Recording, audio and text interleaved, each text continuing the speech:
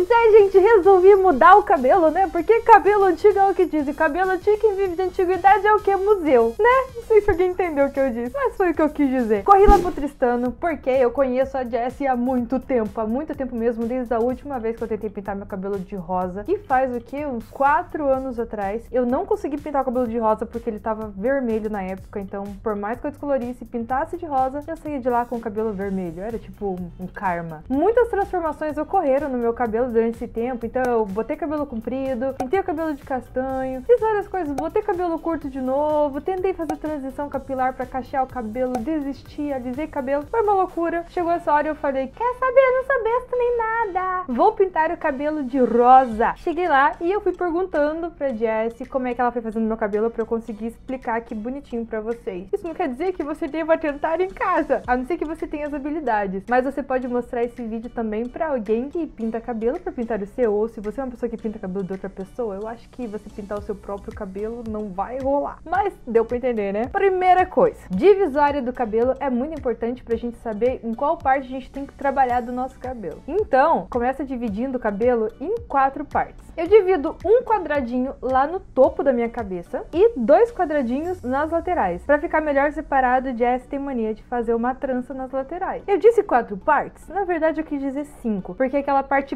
grandona que sobrou da parte de trás da cabeça será dividida no meio também, o que é mais importante para você conseguir descolorir o seu cabelo, ainda mais o meu cabelo que tinha uma certa tintura, não era preto, era bem natural, mas tinha uma tintura e também tinha progressiva, é fazer o teste de mecha para ver como o seu cabelo vai lidar. Alguns tipos de progressiva não combinam com descoloração e destroem o cabelo. Então saiba qual tipo de progressiva você faz, fala com o seu cabeleireiro e faz um teste de mecha. Outra coisa importante é você usar um produto de qualidade muito legal. E eu vou deixar aqui embaixo na descrição do vídeo uma lista dos produtos que foram usados no meu cabelo. A qualidade do produto que você usa é extremamente importante. E no meu cabelo, Jessie fez uma mistura com pó descolorante e água oxigenada de 30 volumes. Foi uma mistura assim para ficar num ponto que não fique muito líquido e fique mais firme. Só não pode ficar tão seco a ponto de não conseguir espalhar. Mas a ideia é que fique mais firme do que líquido. Usando uma plaquete e uma folha de alumínio, Jessie separou uma mecha bem fininha do meu cabelo e iriçou ele todo para cima. O que, que é iriçar? É você pegar um pente, encostar e jogar lá pra nuca. Isso vai arrepiar o cabelo, deixar o cabelo assim esfumado lá para cima e sobrando menos cabelo para baixo. Assim ela consegue um efeito totalmente degradê, assim com um caimento bem legal, aquela caída dos fios assim que não fica tão marcada e não dá aquela troca de cor. Que tem muito cabeleireiro que faz que a parte de cima não pigmenta tanto porque ele tenta esfumar ou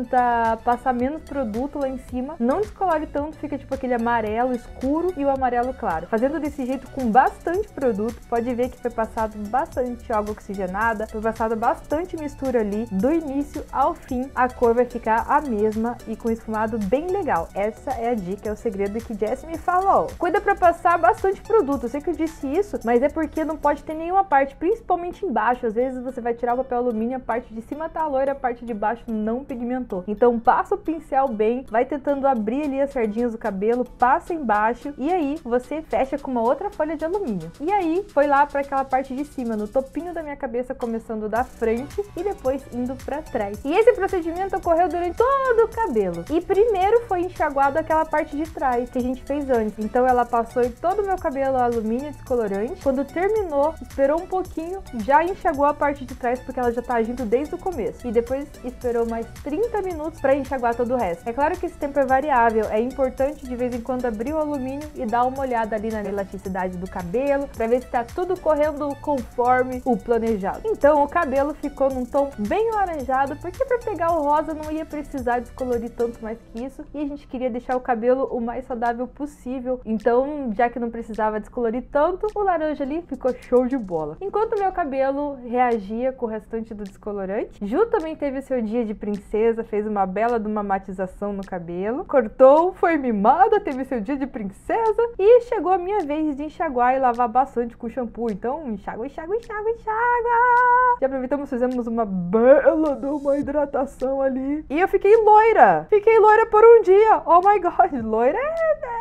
mais ou menos. Mas olha minha cara de feliz, porque eu achei que até que essa cor de cabelo ficou bonito. Ha! Então, com o meu cabelo, é, vamos falar entre aspas aqui, loiro, ele foi escovado, bonitinho ali, ficou desse estado aí, lindo, parecendo um, um sabugo de milho. E com ele escovado e bem seco que foi passado a tintura. Porque a tintura pega bem melhor com ele seco do que com ele molhado. Ela dura mais tempo com ele seco. Olha só o segredo. Tiramos as pontinhas porque não adianta chorar no, cabelo descolorado, não. Tem que tirar as pontinhas porque é uma agressão ali para as pontas do cabelo, que são sempre as mais sensíveis. E se você não tira depois, fica um horror. Então, pontinhas retiradas. Tinta que eu tô usando é o Boto Rosa da Camaleão Color. E o que que aconteceu? Como foi a primeira pigmentação, Jess deu uma misturadinha ali no rosa com um pouquinho de vermelho para durar mais tempo. E aí, nas próximas vezes que eu voltar, a gente vai começar a trabalhar para deixar cada vez mais rosa. Mas se a gente aplicasse só o rosa puro agora, talvez ele não durasse tanto tempo e não ficasse tão bonito. Então ficou um rosa meio avermelhado, um cereja rosa. E eu amei, achei que ficou lindo. Então foi misturado ali as duas pigmentações, muito mais rosa do que vermelho. Tô deixando aqui a proporção escrita na tela para vocês entenderem como eu cheguei nessa cor. E diferente das tintas normais que as pessoas pintam o cabelo de castanho, de ruivo até, de qualquer outra cor, as tintas fantasias, que são essas coloridas, elas já vêm prontas, elas vêm no tubinho pronto. Então você não precisa misturar com água oxigenada, nem com nada, é só passar no cabelo. E foi exatamente isso que fizeram. Pegaram mechas pequenas e dá-lhe tinta no cabelo inteiro. Agora não tem segredo, não tem segredo nenhum mesmo. É só aplicar a tinta em tudo lá do começo até as pontas, dar aquela alisada e deixar agindo. Nessa hora, meu coração tava mil, eu não respirava, gente. Meu Deus do céu. Pensa na ansiedade da criança, tá morrendo. Enfim, passou esse tempo todo, chegou a hora de enxaguar o cabelo. Então, essa água rosa foi toda pro ralo, junto com a minha alma que já não tava existindo de tanta ansiedade que eu tava sentindo. Então, foi lavado meu cabelo, bem lavado algumas vezes para tirar o excesso da tinta, até a água sair, ó, quase branquinha. Na verdade, ela saiu branquinha, enxagou bem. Aí, meu cabelo voltou pro secador, foi secado com o secador de novo, e depois do cabelo sofrer tanto, né, gente, ele precisa de um cuidado. Então, foi passado em mim uma máscara da Cadiveu Glamour, que ficou ali no meu cabelo por uns 20 minutos a meia hora para agir bem. Depois, enxaguamos, secamos e vocês estão vendo a